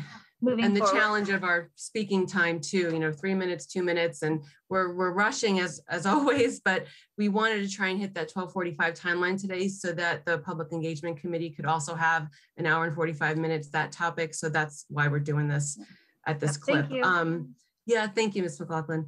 Um, next we have Ms. Karen Keys Gamarra. Oh, excuse me, no, Ms. Sizemore Heizer, followed by Ms. Keys Gamarra. Great, thank you, Ms. Meren. Um, and I, I agree with Ms. McLaughlin that I appreciate all the hard work from OSS and Mark Greenfelder and his office, but I do agree that this feels more like a program review than a budget review. And again, no criticism, but I think if we do this again next year, that's just some, you know, um, constructive and constructive work to sort of adjust as we move forward with this. So I wanted to say that. Um, I appreciate all of your hard work and this presentation and all the details. I have lots of questions. I, I'm sure I won't get to all of them, but I'd like to talk a little bit about um, the student activities and programs, kind of starting on slide 20-ish. Um, you know, I, I, really appreciate the breakdown of the different positions and um, the breakdown of the connection to the strategic plan and the portrait of the student athlete, but I have to ask, the office is activities and athletics, but it feels like 90% of the presentation, when you dig in the details, is about athletics. I know there's, um, you know, ISD operates and uh, the co-curriculars which have after school, but I'd really like to see, for example, I would love to see a portrait of a student, um, engaged student who's engaged in activities. So I just would wonder if you could talk a little bit more to what are we going to do to sort of have a similar infrastructure around activities that we do around sports. We've all seen during the pandemic and the fact that many of our students aren't returning to in-person learning, the real vital importance of engagement and connection, which these clubs do. So that's the first piece. And the second piece I want to ask is, is there funding to continue our clubs, uh, at least some of them in this hybrid sort of format or virtual? Because I do believe, and I'd like someone to comment on this, that um, the students in our non-traditional schools have less access to activities and sports. And I'm wondering if there's budget room or CARES Funding Act to get them also engaged and get better access, either using hybrid or virtual or expanding to those schools. So if someone could comment on those pieces first, I'd appreciate it. So I will try to, to do this uh, really quick. I think um, the first piece on the other clubs and activities and our, um, you know, our marching band, our, our choir or chorus, all those different activities that kids are um, involved in that traditionally uh, come through ISD. Um, again, under Dr. Presidio's leadership, he is asking us to be um, more coordinated in that approach and, and how we could report that out. So I think we, we can definitely do a better job with that next year. And some of these things are intertwined. So mm-hmm. that might be a piece where we can work with our ISD colleagues, um, with, with Noel Clemenco and her and I can do some of this jointly so that you can see um, what the benefit is of those, how many kids are participating and those types of things. I think that would be very beneficial. So we will absolutely look to do a better job. It, it is more um, sports and um, clubs type related because that's really what we oversee.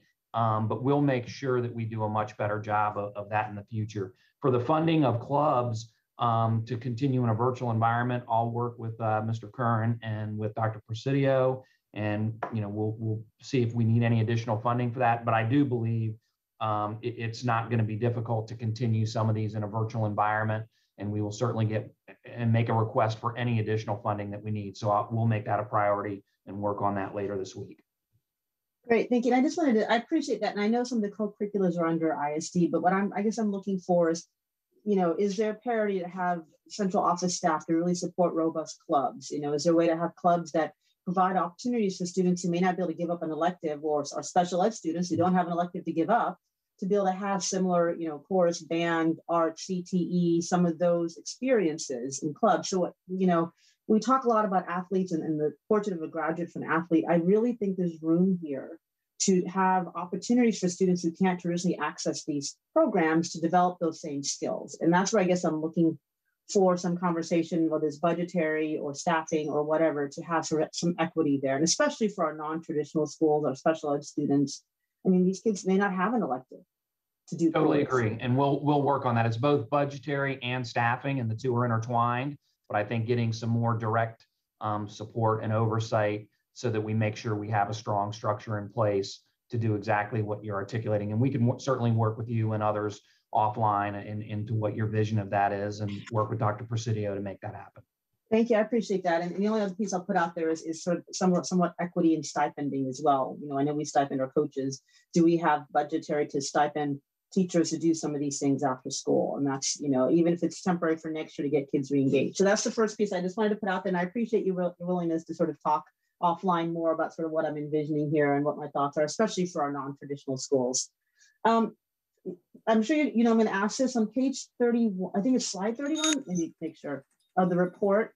You say um, it's slide 31. Certain students graduate with a diploma. Um, can you tell me which diploma that is? It says 87% of 12th grade students graduated with a diploma. Um, that are in non-traditional school programs and 93% of 12th grade students graduate in homebound graduate with a diploma. Do you know which diploma that is? And I think that was the bell. Is that right, Ms. Smolberg? Ms. Salerno, I'm going to need you to yes. field that one for me. Thank you. Happy to answer. so that is either a standard diploma, advanced diploma, or an adult high school diploma. Okay. Um, any of the three there. But not an applied studies diploma or a modified diploma. No, Great. that's, that's, yeah. Perfect. Thank you. I appreciate your time. You're welcome. We'll Thank also you. break those out in the future, so you know what the, uh, what those are. Thank you. Great. School board members, if you've spoken, can you please lower your hands? I see about four hands up of people who've already spoken. Thank you so much. Um, Ms. Keys Gamarra, followed by Ms. Omeish. Thank you. Um, I, I, I should preface my comments by saying, um, I agree with the, the number of my co- colleagues who mentioned that we don't have enough focus here on breaking out the budgetary, uh, implications of what we're doing. And I say that particularly because I, I recall we had a rather extensive um, presentation uh, from the same same department back in I think November, I, if I'm not if I'm not mistaken. Um, so I'm uh, struggling to try to figure out how to uh, put the information we have today into context uh, with respect to the budgetary decisions that we need to make going forward. So many of my comments have to do with what additional information I would like. I want to give you that contact, con, uh, context. Um, we hear lots of uh, focus on the word equity. Um, uh, that was repeated uh, again and again, but I'm looking for what particular investments we have made to address identified inequities, as well as data to support that. Now, I realize that may be um, you know, seen as two different things. But I feel I can't really make um, a good argument or evaluate what we're looking at without that type of assessment. Um, I would say um, there, there was a mention of the region teams. And again, that's a great opportunity, I think, to break that out where we have identified inequities. Um,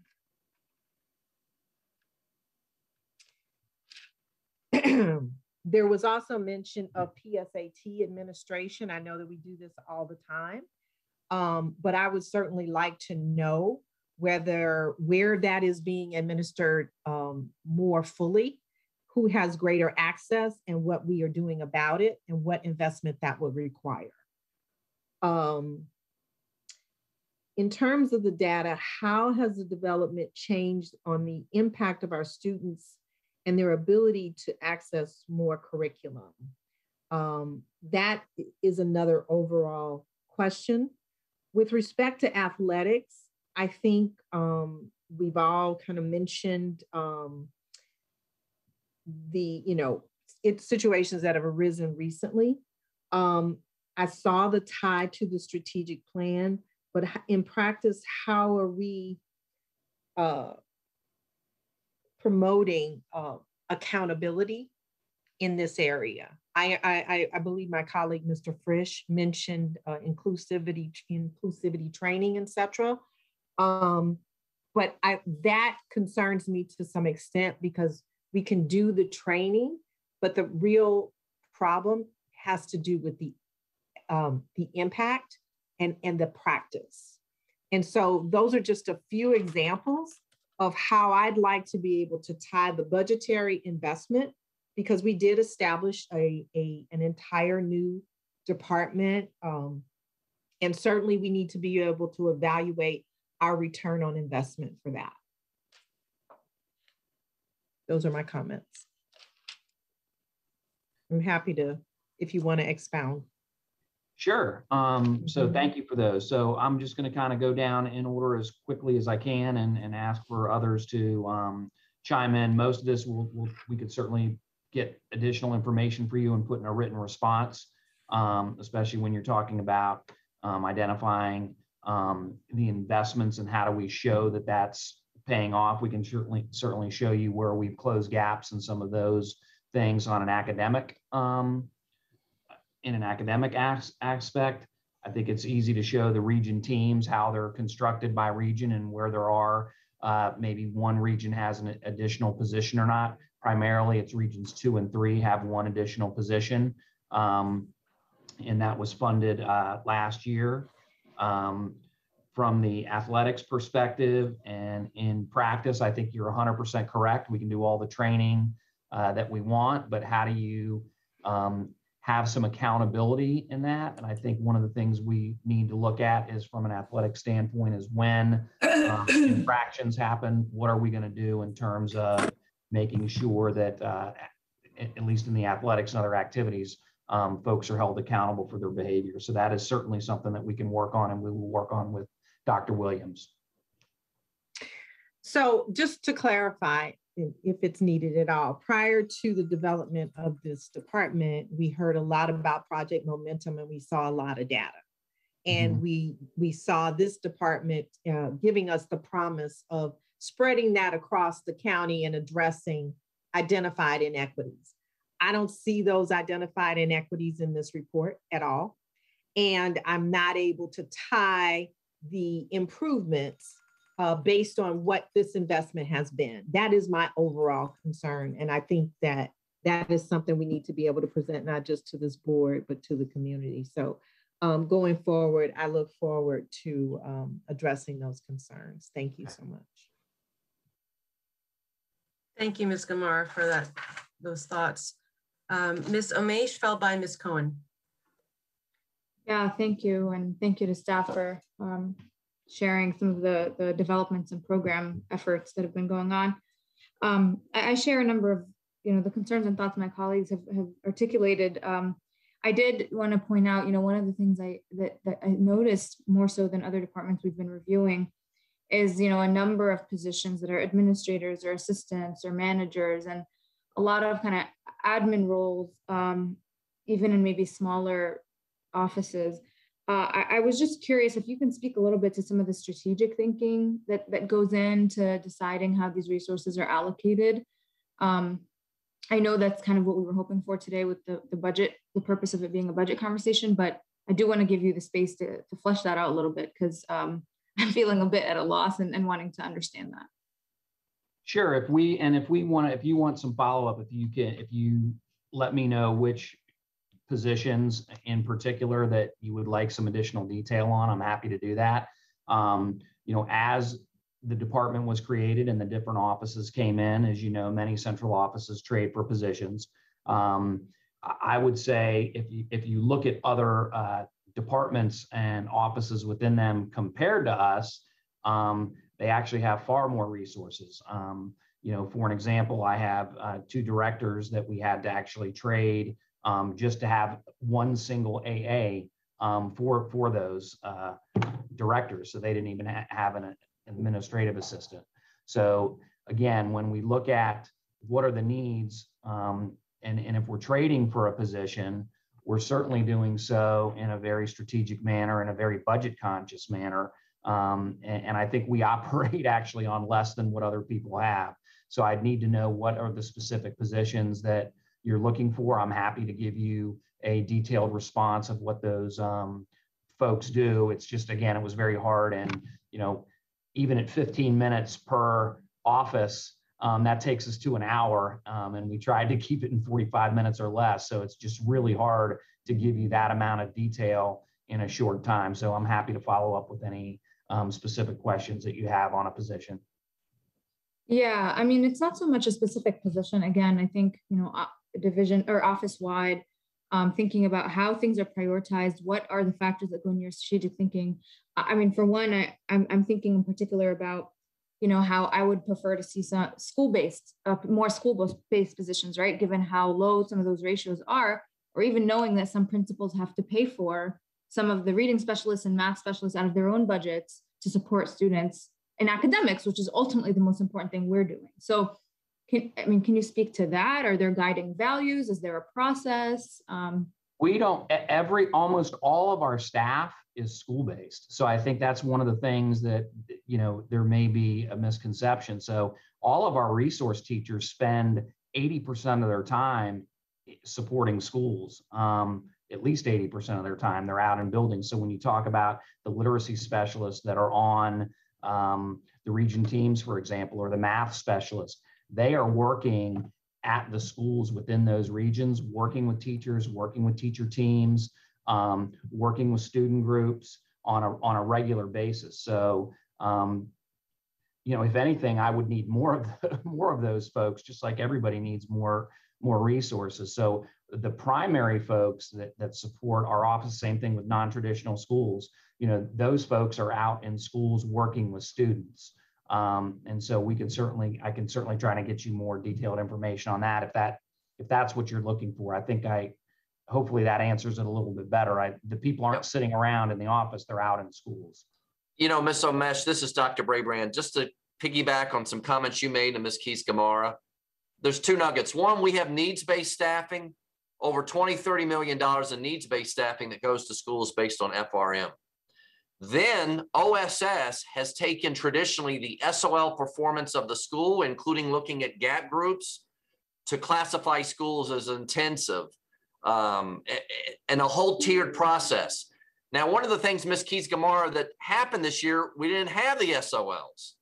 So I, I, think, Mr. Greenfelder, one of the things the board may want to know is how did we disperse staff this year without all that rich SOL data? And I think we can follow up to explain that. We are giving the SOLs uh, this year, of course, and those those families that are not coming in in person for the SOL will have a remote assessment, and we'll use that data to drive the distribution of the OSS teams.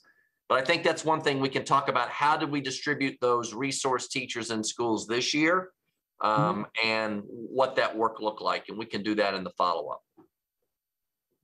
Yeah, I mean, do we know even, you know, even if it's just a, a feeling or a sense of what percentage, for example, you know, we have school-based versus other, or?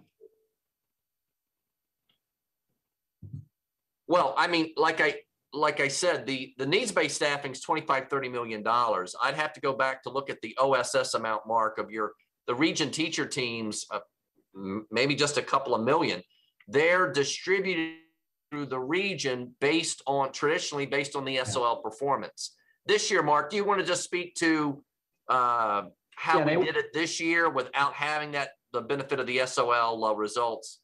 Yeah, we still use some of the same previous data data that we've used before and to deploy that. But really, it comes from we have a region EP that is assigned uh, and oversee helps oversee those teams. And so basically, the region team works with region leadership to see where the needs are in their region. So that's one of the advantages of going from the traditional project momentum where we just worked with the most at-risk schools to now a more region based where we were trying to get support to all schools. So the region leadership through a tiered approach really has said, you know, school X over here needs more support in literacy. So that's where we make sure that those resources go.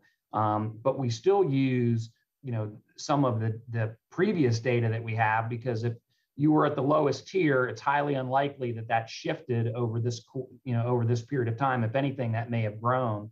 So we've made sure that those supports have stayed um, as consistent as possible. And, and Ms. Omeish, one one last thing just to say on this. One thing this team does uh, an elementary school uh, struggling with math. They do a walkthrough with the teachers these are outstanding teachers in their craft. They do a mm-hmm. walkthrough of math instruction.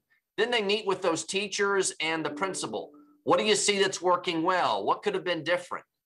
And so they're building instructional capacity in the school. They say, hey, we'll come back in a couple of weeks. We'll check in. How's it going? Is it getting better? Mm-hmm. Um, if it's not, here's some more things to work on. Mark's convened a whole gathering, the principals there, the assistant principals, the teachers, the OSS team it's almost it, it's this community conversation. Hey this is what good instruction is. Here's what we saw. Here's what we didn't see. That kind of accountability is what was in the project momentum model and that's what we've been expanding to all of our region schools. And yes we're asking our region assistant superintendent executive principals where are the schools based on the data based on parent calls? Hey what's going on with math instruction here? What's going on with literacy to take a deeper dive in those classrooms and give real time recommendations. And they can go over to another school for a couple days, but come back the following week and check up and see is this instruction happening the way we believe it should?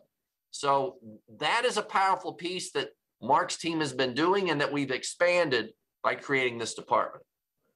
Yeah, I mean, I think, I, you know, w- with a lot of this work and from what I've been hearing, there, there's a lot of, I mean, I struggle with the kind of the general, this is what we're doing, this is what, you know, our goals are, a, no- a number of slides talking about how equity is important. We share these values and I think, you know, there are some intuitive, there's an intuitive sense of what we do, but I think the level of specificity, the analysis, um, you know, having ways of how we're pri- being appropriate stewards of the resources that are ultimately, um, you know, allocated for this purpose.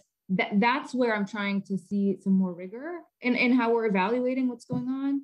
Um, to even, you know, uh, to think of how we prioritize this. I do think that this office and this conversation today would benefit from uh, some perspective from equity. I know the equity team has to be looped into everything and they're overburdened with so much, but I do think there's, you know, we need to have that bird's eye view look, which I, you know, I was hoping we'd have today, but we can do in the future of really uh, uh, looking at the analysis. I mean, I, again, school accreditation, um, SOL pass rates or gaps, those are metrics, but the picture is a fuller picture. And- Sure. And, and those, I mean, I don't want to just care about schools not being, you know, kicked off or, or being, you know, uh, having accreditation issues. Sure, sure. Right? So, And, and we Um, added that equity person to the team just a year ago or two years ago. Mark could, could give you for sure when. We added that equity in.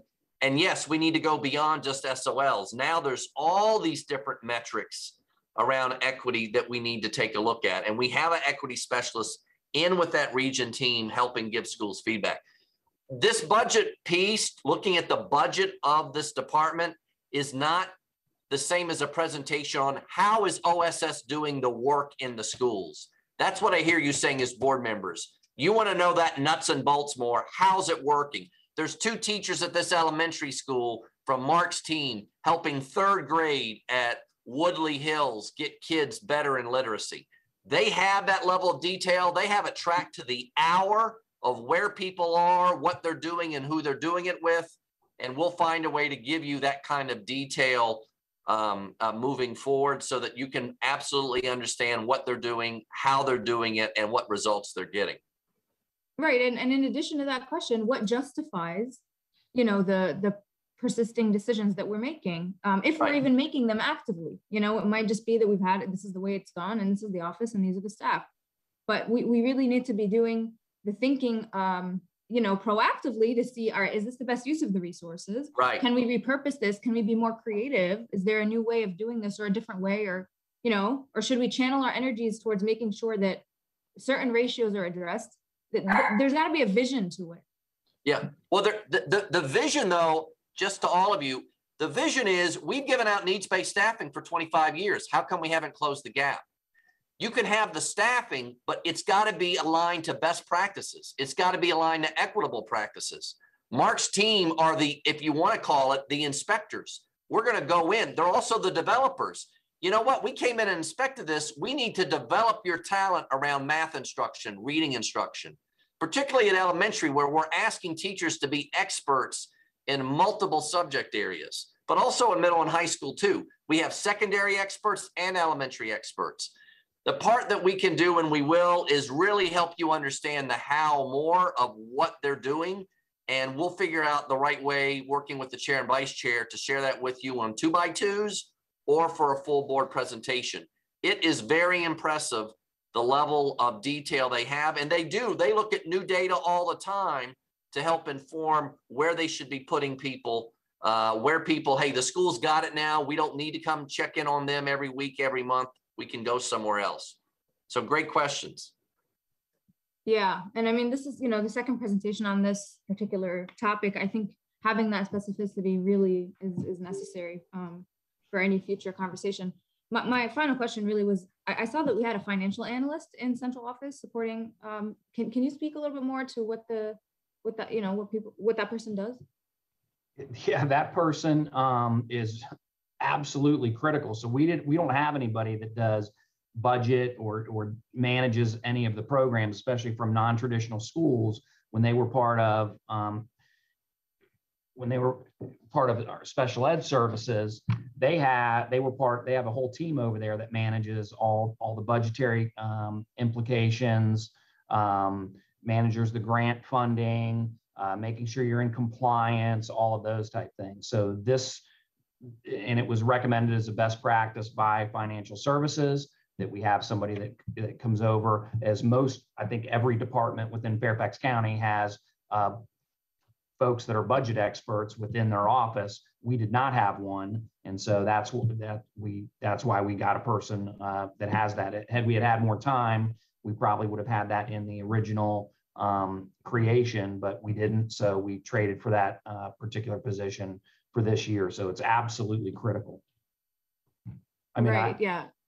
I mean, we, we didn't have anybody to do the budget. So that's as the- probably the- one of the most important things you can do is make sure you're being a good steward of your, your finances and your money. And there's, you know, quite a bit of funding that runs through these and we want to make sure we're being, um, you know, compliant and, and due diligence and best practices. And so we made sure we had somebody. And again, that was recommended by financial services as well to make sure that we had somebody to help us with that. Yeah, I mean, I'd appreciate the specificity again. Is this someone looking back, looking forward, making, doing analysis, making decisions? Or is this uh, just a man, a budget manager? I, think they do all of those things that you mentioned. They, they're looking forward to make sure are we are how are we using our funding? Is it our funding being strategic? Uh, for example, how are we uh, deploying our funds to schools? Are we are you know I have a conversation with that that person on a weekly basis about you know is is our budget in line with our vision? Are we making sure that we're getting the supports to the, to the right schools um, with our own proposal when schools ask for funding? Um, but, but a lot of it, to be quite honest with you, is very compliance driven um, with the large number of grants and different things that we have. Just like any office has, you know, folks and staff that do that. We have one. That's it, and that person is um, quite overwhelmed, to be honest with you. Appreciate the honesty um, and hope, you know, in our future conversation, maybe some of that thinking can be, it's an opportunity for us to have that conversation. Thank you. Right. Um, well, folks, we've blown past our twelve forty-five stop time, but let's uh, finish with whoever hasn't spoken yet first. So um, Ms. Cohen, um, followed by Ms. Pekarsky, and then Dr. Anderson, and then Ms. Kovac. So everyone wants to speak, and we have five minutes till break. So um, I'm just trying to think how we want to do this. Um,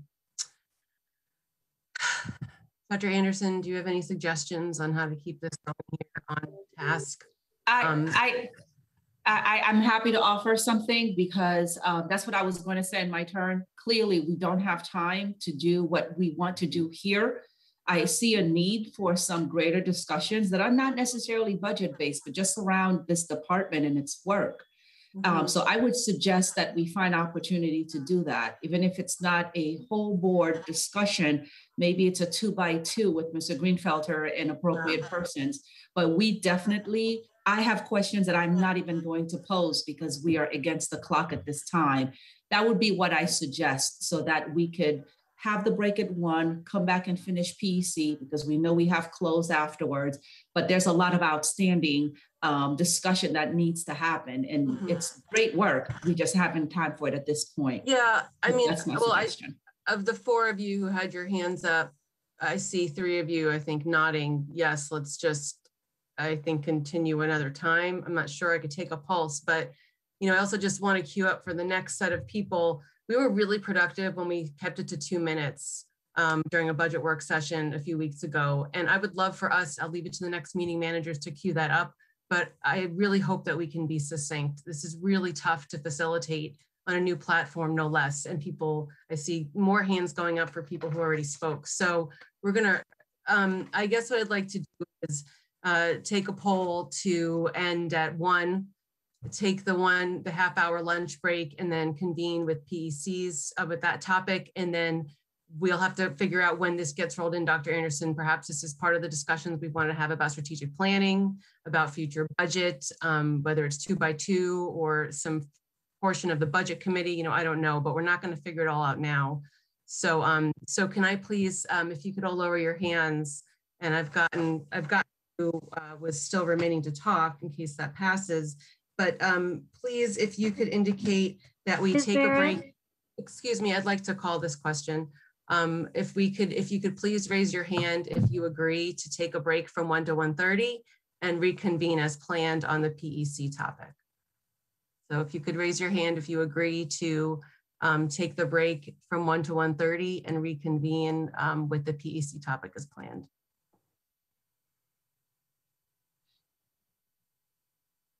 And we're using that little raise hand icon.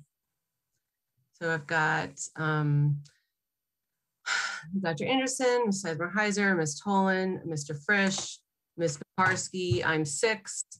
So are we deadlocked then? Six want to take a break and six do not? Ms. Meren, I'd like to be recognized to just give a, a quick solution for, for your consideration as the meeting manager. Um, Sure, for the board members, for the board members who didn't speak, I, I certainly support that we give them two minutes each. Staff isn't going to speak to their questions. Um, and then at least they get the privilege of sharing their thoughts and views. Well, we could certainly, we can certainly vote for that. I will say that um, I think that it's unfair that some people got to talk a lot and now the last people only get to talk for two minutes. Well, So. Ms. Meren, um, I agree. I think I it's a- I think it's a natural Con- let's vote on it, but I, but I think it is a natural consequence for how we behave. Is that we run out of. Miss Meren, Ms. I will be happy to yield my time. I will ask my questions in another forum. I do think we need to come back and find another opportunity for us to be comprehensive in this discussion. Outside of moving the PEC off of the agenda, we are not going to accomplish this this afternoon.